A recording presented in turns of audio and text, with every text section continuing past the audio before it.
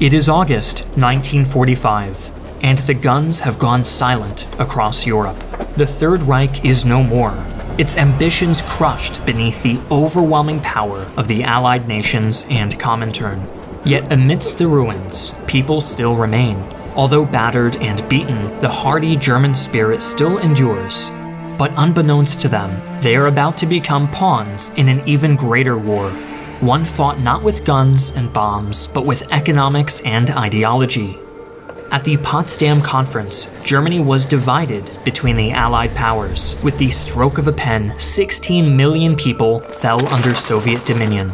The two halves of the nation would now stand at odds. On one side, a capitalist buffer state against the menace of communism. On the other, a glorious socialist utopia. At least, that was the theory. Hi, I'm Griffin Johnson, the Armchair Historian.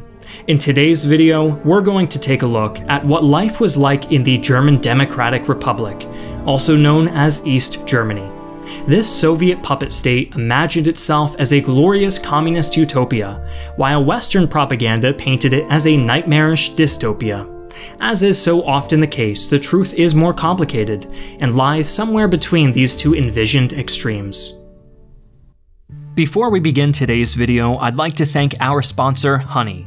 Thanks to the pandemic, being able to save while shopping online has become a real skill for many people. But it's not always easy to hunt for discounts, special offers, and coupons in the digital marketplace. Fortunately, Honey provides you with a free online shopping tool that scours the internet for promo codes and applies them to your cart. The way it works is very simple. When you're using any of your favorite sites, like Amazon, Grubhub, or Best Buy, Honey will show you a drop down box with the option to apply coupons. Then all you need to do is watch the prices drop.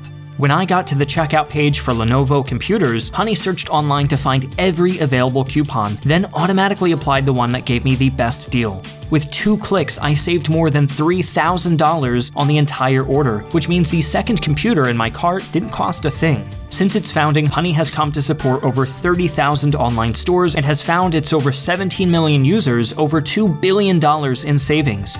The best part is that Honey is absolutely free. It's even part of the PayPal family, so you know it's trustworthy.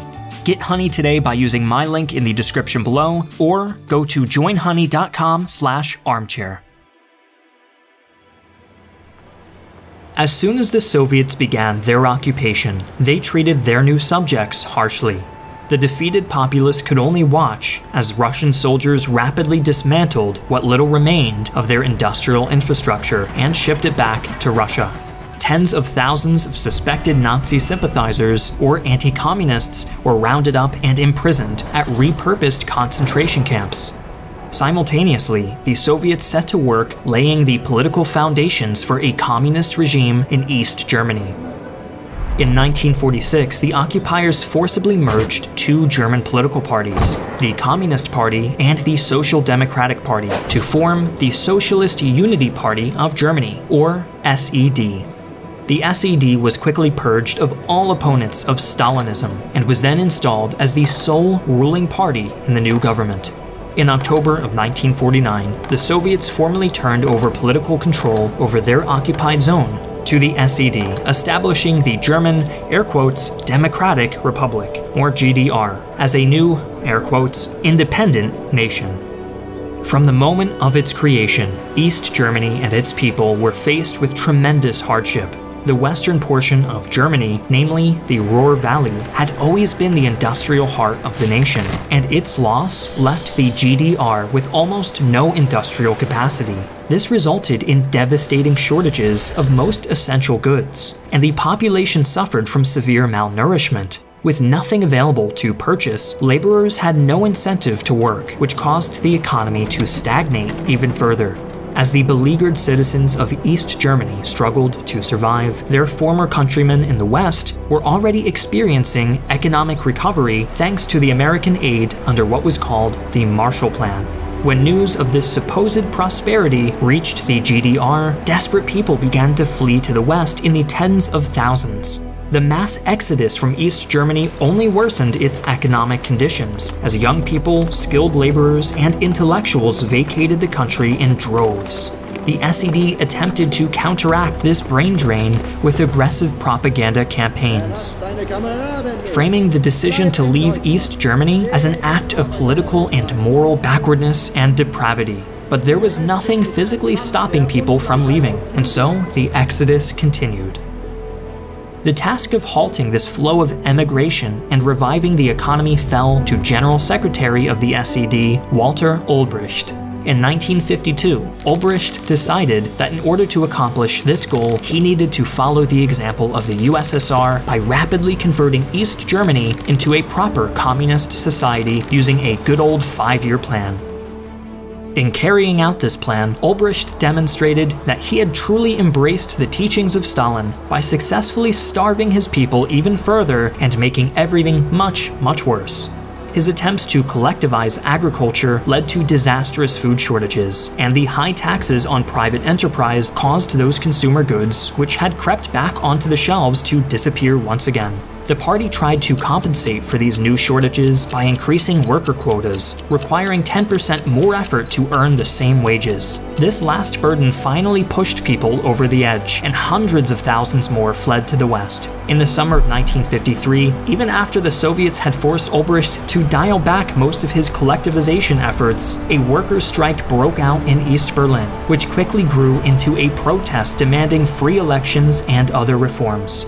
The movement soon spread across the country, and within days, 340,000 people were protesting in every city and almost every large town in East Germany. The situation was dire enough that Ulbricht was forced to call on the Soviets for help, and it was only upon the arrival of their tanks and armed soldiers that the unrest was finally quelled and so migration to the west continued. By the beginning of the 1960s, nearly 4 million people had fled the GDR since its foundation, representing over a quarter of the country's original population. Party officials tried several tactics to keep people from escaping, including fortifying their border with West Germany. But citizens continued to flee through Berlin. Due to its unusual status as a single city divided between Soviet East and Allied West, it was difficult to stop people from crossing the border, turning the former capital into a city sized loophole through which over 90% of the migrants fleeing East Germany were able to escape. By 1961, the party had had enough and finally decided to close the border with the construction of the Berlin Wall. This 156 kilometer or 97 mile barrier effectively cut off the people of East Germany from the West. Where nearly 4 million had escaped since 1949, only 5,000 more would manage to abscond over the next 30 years. As the 1960s progressed, quality of life slowly improved in the GDR. After losing a quarter of their number, the remaining population of the nation slowly realized that there was no longer a shortage of housing or jobs. Production of consumer goods and strategic resources gradually increased, and by the end of the decade, East Germany had the richest economy in the Eastern Bloc. But while more goods were being produced, not everything was consistently available. The government was in control of all production. The resulting fluctuations led to massive lines outside of stores and the widespread hoarding of common goods. Those without access to hard currency from the West were subject to the whims of the party's economic planners, and often had to wait months or even years for certain goods to become available. For example, those wishing to purchase a sleek, stylish, high performing East German automobile would have no trouble paying for it, but they would have to wait up to 13 years to actually receive their vehicle. Despite the long waits, standards of living in East Germany did improve significantly in the 1960s, but unrest and opposition to the communist government remained. Despite ongoing discontent, there was never another widespread rebellion like the 1953 uprising until the Soviet Union began to collapse. This effective suppression of unrest was all thanks to the Ministry of State Security, also known as the Stasi. The Stasi was one of the most feared secret police forces in the Eastern Bloc, and between their founding in 1950 and their dissolution after German reunification, they carried out one of the most extensive mass surveillance programs in the pre digital age. They employed over 170,000 informants among the civilian population, although some estimates suggest there could have been as many as half a million. There were Stasi agents in every apartment building, every factory, every hospital and university, watching and listening for any sign of subversive or anti communist behavior. Until 1970, dissidents identified by this surveillance network were simply arrested, dragged off somewhere, and tortured until they gave up any accomplices before being imprisoned. In the 1970s, the Stasi decided that these methods were too crude and began to employ a form of psychological warfare called Zersetzung, which literally means decomposition. These insidious tactics and mass surveillance created a culture of suspicion and fear in much of the East German populace. The eyes of the Stasi were everywhere. Despite this pervasive fear of Stasi surveillance and harsh state censorship, a vibrant and distinct art and material culture flourished in the GDR. The identity that developed within these restrictions was defined largely in opposition to the West, emphasizing the ways in which the people of East Germany were distinct from, and of course superior to, those in the West. Movies and plays produced by the state owned studios and theaters celebrated the ordinary working class heroes of socialism, along with brave underdogs who fought against fascism and imperialism. When it came to women's rights, East Germany rejected the traditional conservative gender rules still enforced in West Germany in favor for greater autonomy for women in marriage and in the workplace. Birth control was more widely accepted and available, and women were encouraged to participate in the workplace rather than remaining at home. This anti Western, pro communist cultural movement took hold most strongly among the older generation, while the youth, as they often do, chose to rebel in the late 1970s and 80s as the governments of both German nations were pushing for reconciliation and greater cooperation, cultural influences from the West began to seep in and catch on with the younger generation. Punk and rock music became popular, and tech savvy teenagers became fascinated by Western video games. This created a cultural divide in the GDR, with the old guard still stubbornly in support of the communist system that kept them fed, sheltered, and employed, while young, educated East Germans grew more and more fascinated with the West and opposed the status quo. By 1989, discontent with the communist policies erupted into widespread protests for the first time since 1953, and this time the Soviet army was in no position to intervene. In November, the Berlin Wall was taken down, and the SED abolished the provision in the Constitution guaranteeing communist control of the government. The following year, East and West Germany were formally reunited. The reunification of Germany was met with approval from both sides of the old border. But the divisions between the two halves of this new nation did not disappear overnight. Many factories in the East were closed, and widespread unemployment reappeared for the first time in decades.